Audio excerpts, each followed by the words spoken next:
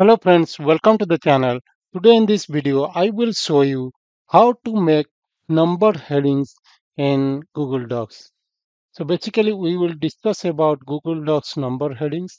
If you want to do that, how, what are the approaches you can follow to do this. This is quite important to make your uh, Google Docs looks better. So you can just number your headings so that it will be easy for your users to follow, right? So now what we'll do is we'll do a demo on this and for that uh, I will navigate to docs.google.com where I have already opened one document. I will do uh, that uh, number headings, Google Docs number headings and show it to you. Okay. So let me navigate there. You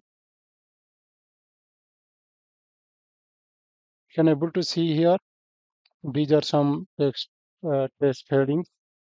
Uh, for the demo perspective, I have written it uh, and you can able to see here this is my Google Docs document.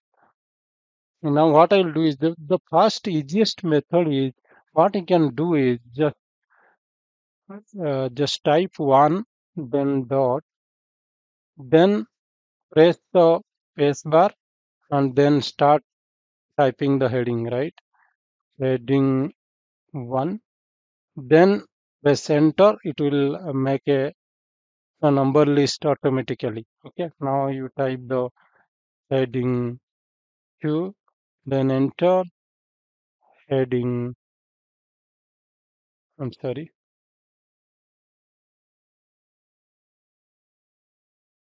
Heading 3 heading 4 like that you can do. This is the basic approach. This is the easiest approach right? Just enter one dot then press space bar then start your heading. I mean start typing your heading. Then once your heading is done click on enter type your second heading third heading fourth heading like that. Okay this is the first approach. The second thing is what you can do is suppose these are your headings okay these are the headings that your document contains.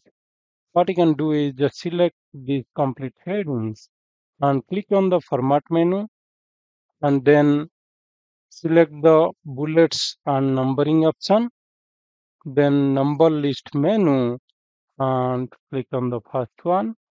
Can able to see here it is numbered successfully right?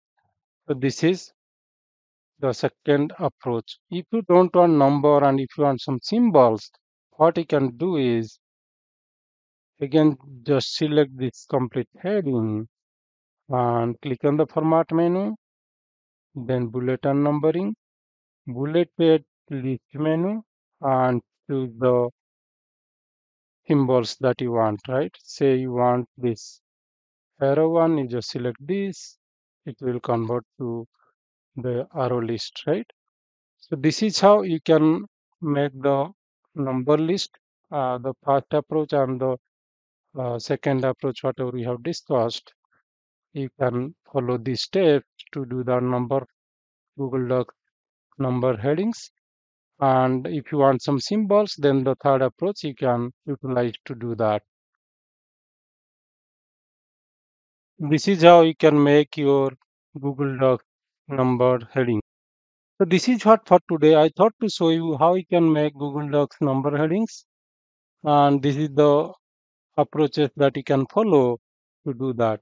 Thanks a lot for watching this video. If you like the video kindly subscribe to our channel so that you will get lots of free videos on different uh, google docs articles google docs tips google drive tips etc thanks a lot and have a nice day. Bye bye